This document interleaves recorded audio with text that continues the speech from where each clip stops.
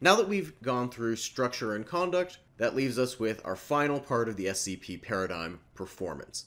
Performance is all about the outcomes in a market. Structure tells us how things are all set up, conduct talks about how the firms are going to behave, and performance looks at how does it all shake out in the end. There are two main ways to look at this profits and social welfare. Profits are simply measured as revenue minus cost, and social welfare by total surplus.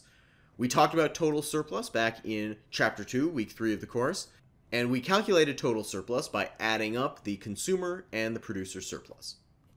Profits tend to vary widely across industries, and within an industry can also vary by firm depending on a lot of different things.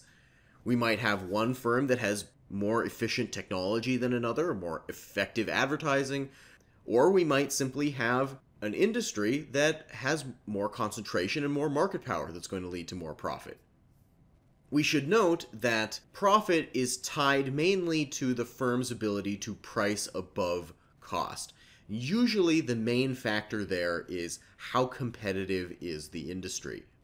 I'll also point out that high profit industries may not necessarily be high social welfare industries. Profit, of course, is part of the overall welfare of society, but it's certainly not all of it. And sometimes higher profit can come at the expense of consumers. As we go through the course and look at different market structures, profit is going to vary greatly. And it's going to be one of our main ways to think about the differences between these different market structures. We're also going to spend a lot of time thinking about social welfare, that is, the economic well being of society as a whole, not just the firms. We'll get to this next week, but as a preview, perfect competition is the market structure where total surplus is maximized. That is, we have reached a socially efficient outcome.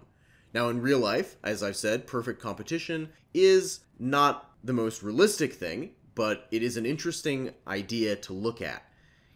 Most industries in real life are imperfectly competitive, which means there's some market power there. Firms have some ability to raise prices, maybe not as much as in a monopoly, but it happens nonetheless.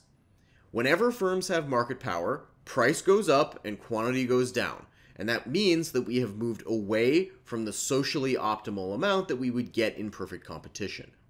The Dansby Willig Performance Index is a way that we can rank industries according to how much the total economic well being of society would improve if output were slightly increased. In perfect competition, output is at just the right amount, but when we don't have perfect competition, our quantity is too low. What that means is that in most industries, increasing quantity and lowering price would be good for society. And this tells us how close we are to that socially optimal outcome. Let's look at a few examples of Dansby Willig performance indices. Textiles and apparel both have pretty low Dansby Willig indices, which means that society doesn't gain quite as much by pushing out the production of those goods. On the other hand, chemicals is the highest one here, which means that society would gain the most by the chemical industry expanding its output. This broadly suggests that the chemical industry has a lot of market power going on, uh, and they are holding back their production more than society wishes that they would.